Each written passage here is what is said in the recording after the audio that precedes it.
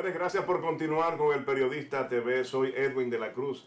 Yo soy el periodista. Recibimos en este escenario a, una, a un distinguido profesor, un hombre de conocimiento que nos honra con su presencia porque siempre nos, nos guía por senderos de mucha luz. Con nosotros Andrés Reyes Victoria. Fortunato Victoria. Fortunato Victoria. Bienvenido a nuestro programa, profesor. ¿Cómo se siente usted? Oh, feliz de estar compartiendo contigo este momento y con los amigos televidentes, tu gente. Muchas gracias, sí, muchas gracias.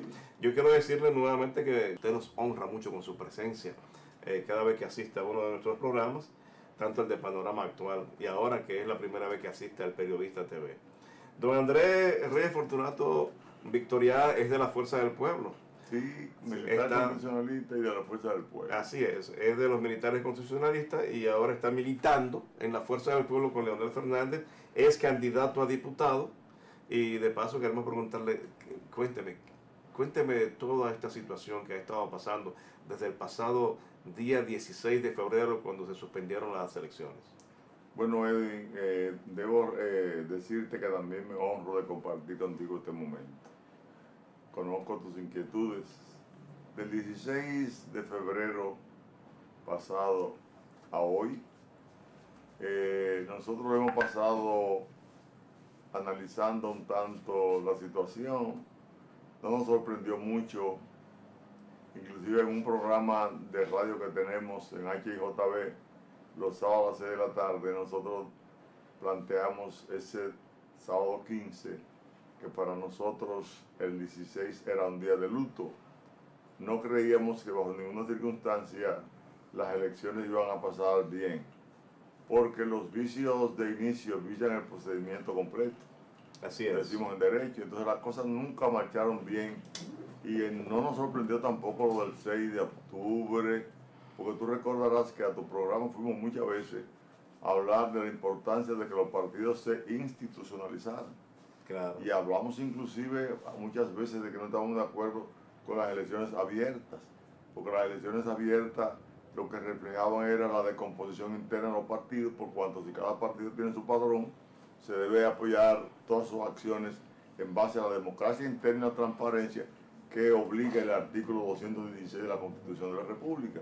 Y como eso no se estaba practicando, y nosotros habíamos ido varias veces vestidos de negro, como andamos hoy, que vamos para una ofrenda floral. ¿Está en protesta usted todavía? No, hoy es día de Mella. Sí, es cierto. Nosotros generalmente nunca estamos protestando, estamos orientando, porque la protesta más grande que se ha hecho en este país fue la del 1985, la Revolución Constitucionalista.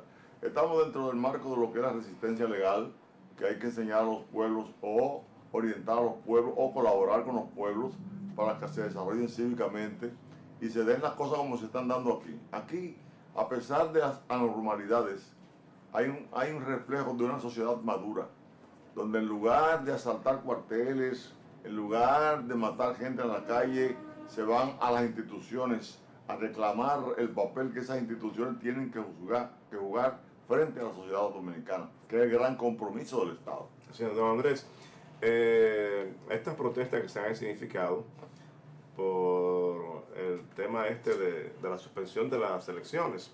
Eh, ¿qué, valoración usted le da? O sea, ¿la ve positiva, la ve negativa?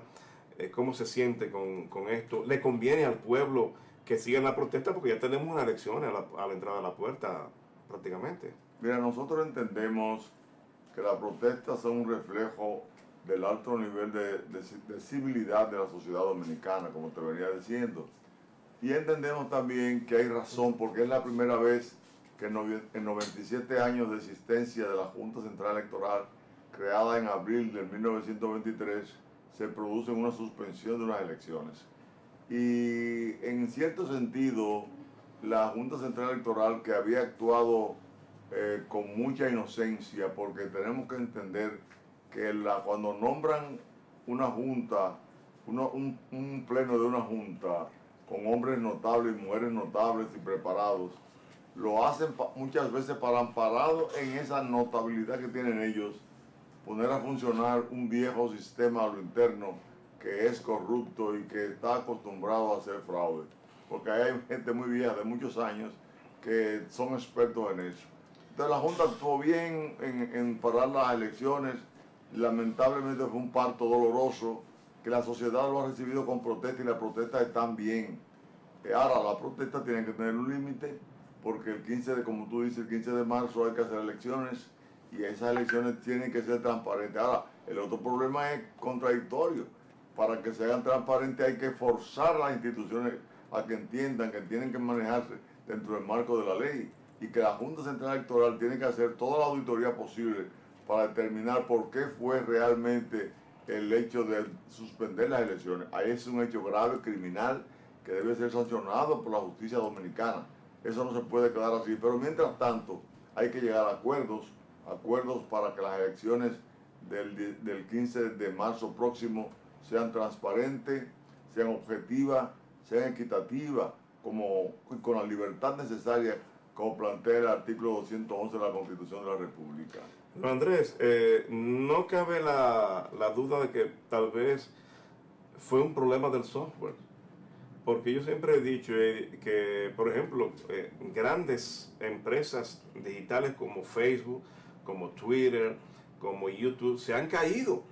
Y esos son los monstruos de la, de la comunicación digital. Se, se, han caído y han tenido que utilizar de emergencia otros servidores que, que tienen. No cabe la duda que tal vez fue un, un problema del software instalado, que no hayan manos macabras ni maliciosas en lo que pasó?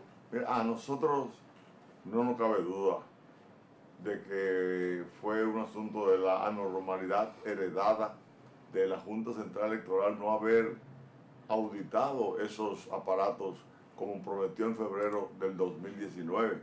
Nunca lo hizo.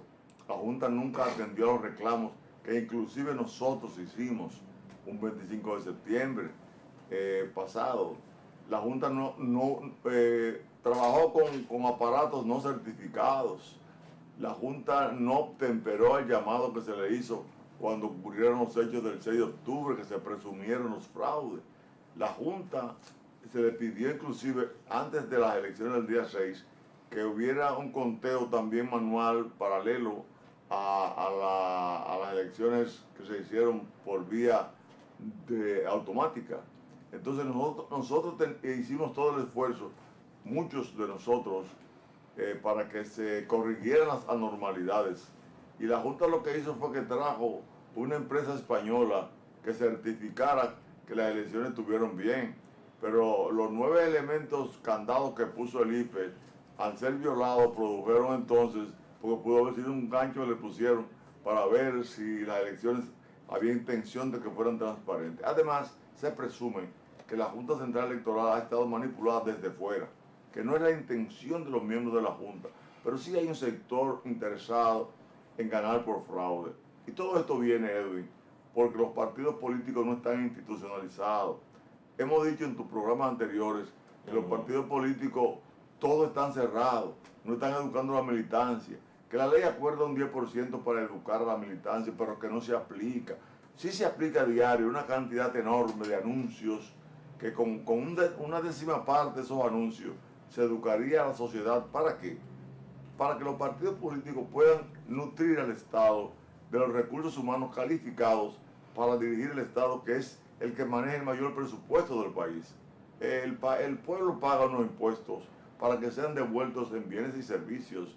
Sin embargo, no son devueltos. Se presume también que hay una alta corrupción heredada de toda la vida en este país.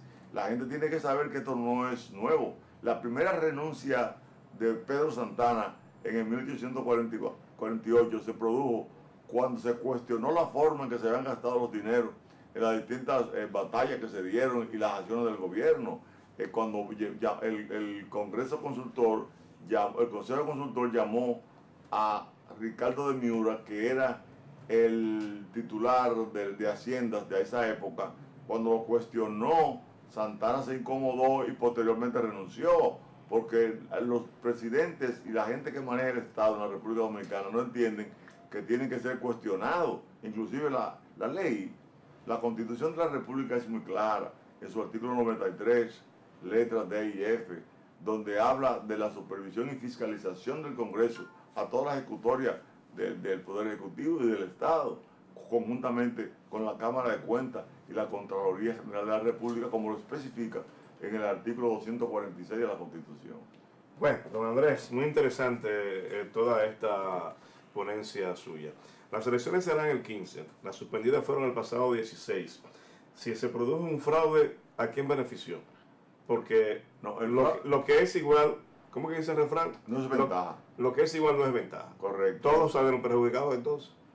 Mira, salimos todos perjudicados, pero también gananciosos con la reacción popular. Tenemos ahora un ejército social en la calle eh, dirigido a que en la República Dominicana se haga lo que hay que hacer, que es que se cumpla con la ley. La salida de este país y del mundo es que los gobernantes se acojan al mandato de la Constitución y las leyes.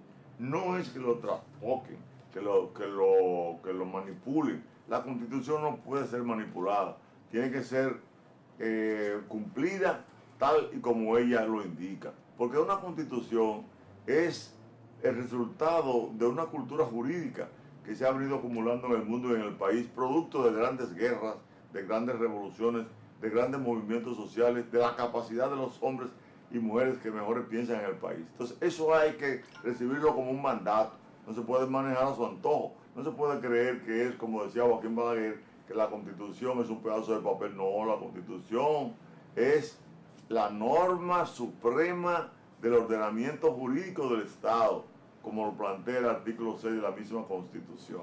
¿Está usted de acuerdo con que entonces los miembros de la Junta Central Electoral sean eh, que renuncian o sean removidos? No, no. Nosotros planteamos el lunes 17 en la mañana en una rueda de prensa que hicimos que los miembros de la Junta tienen que quedarse ahí y tienen que demostrar su capacidad y responsabilidad y tienen que reconocer que se descuidaron en muchos procedimientos, que no oyeron a los partidos políticos y que actuaron tal vez de manera inocente, de manera parcial, pero que ellos tienen que cumplir y hacer las elecciones. ¿Por qué?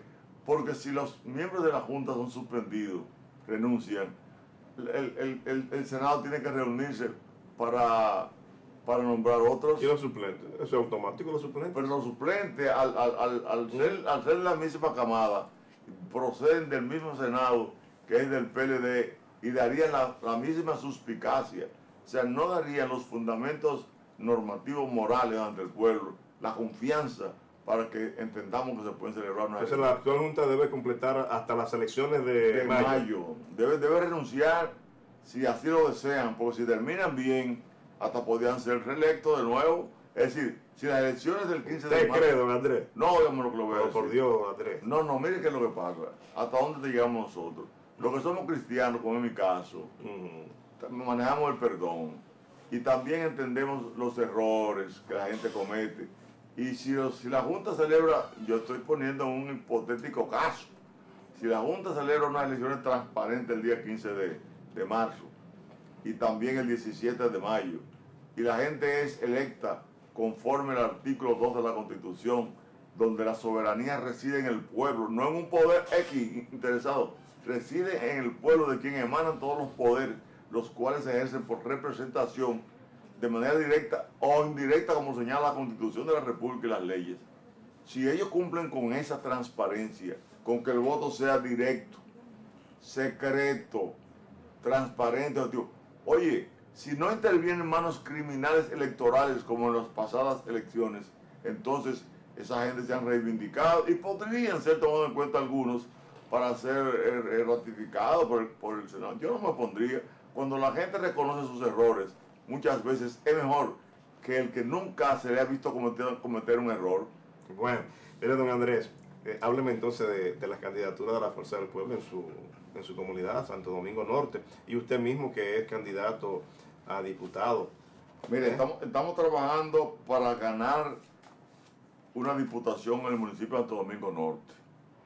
E inclusive estamos haciendo actividades para esos fines. Estamos, por ejemplo, tenemos aquí una, una invitación para una conferencia que vamos a dictar el próximo jueves 27 de febrero con motivo del Día de la Independencia, cuyo título es De la Independencia Nacional al papel anticorrupción del Congreso Nacional. Por ese día hay marcha, hay protestas. Pero cuando esta, esta eh, conferencia se organizó, ni había el problema del 16, ni había las marchas. Entiendo, Entonces nosotros no lo entiendo. vamos a suspender la vamos a hacer, bueno, podrán ir menos gente, pero esperamos que el Club Vista Bella de Villa Mella se nos llene, porque es un almuerzo, conferencia, donde va a haber chicharrón, ¿Cómo? también. Y no me invita, a ese no me invita, no, yo, no, yo vine a traer esta, invitación a ti. Muchísimas No, gracias. pero ven acá, tú tienes que estar ahí conmigo, con nosotros.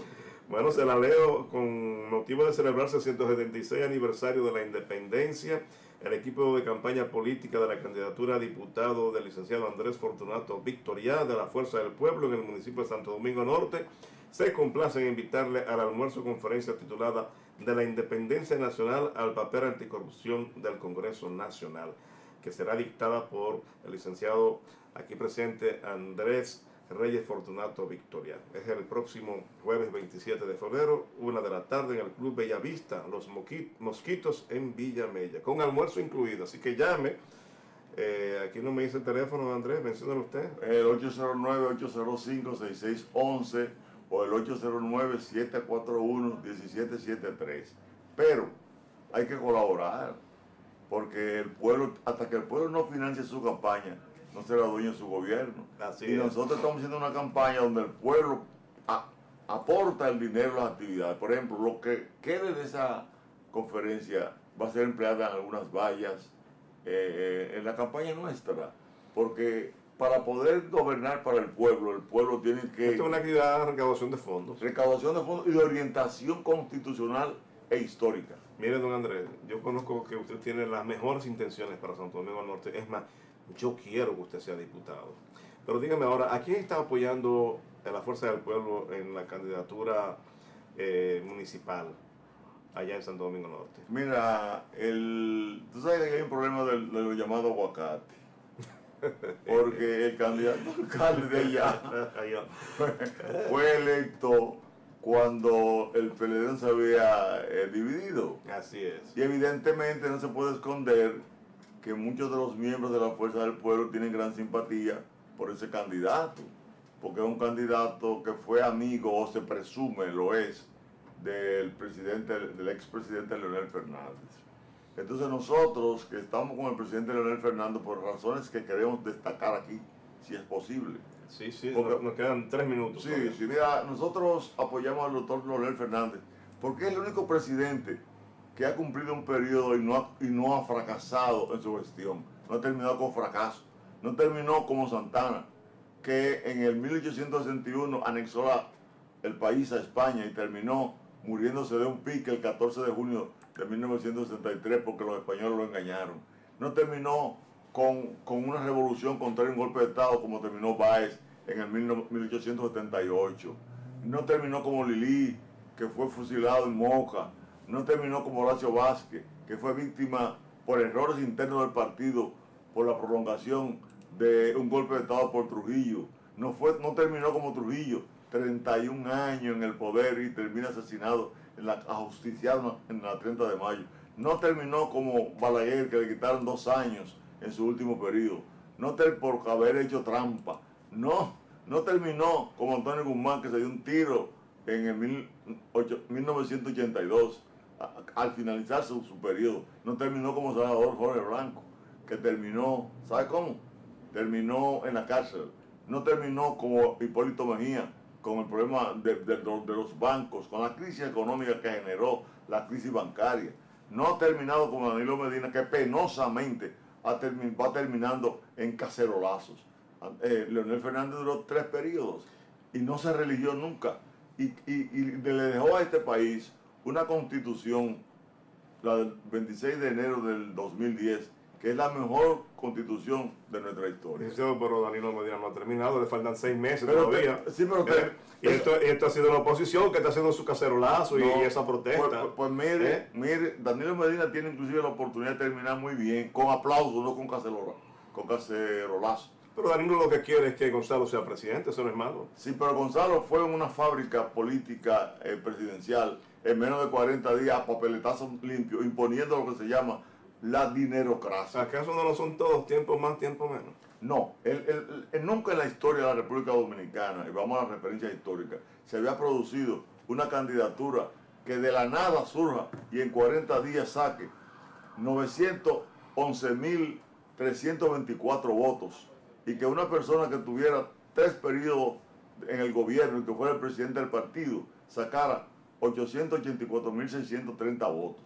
O sea, eso cuando se, se analiza objetivamente, nos vamos, a, vamos a dar cuenta. Y lo que Andrés Fortunato le pide a Danilo Medina, le solicita a Danilo Medina, es que termine siendo un presidente ético y moral, como él prometió en uno de los momentos que tuvimos juntos en la campaña, donde nosotros lo acompañamos desde el 30 de noviembre del 2011, cuando él tenía 17 puntos menos que Hipólito Mejía. Bueno, agradecer a Andrés Reyes Fortunato Victoria. Siempre nos falta tiempo para seguir conversando, porque este hombre tiene tanto conocimiento y tiene tantas cosas que decir. Nos, nos queda agradecerle por su presencia con nosotros en el Periodista TV. Y a ti por invitarnos. Muchas gracias. Eh, espero otra invitación. Gracias a usted. Señores, agradecerle a ustedes la movilidad de su compañía. Soy Edwin de la Cruz. Yo soy el periodista y les espero mañana en el Periodista TV desde las 6.30 por Telecanal 28 y nuestras redes sociales.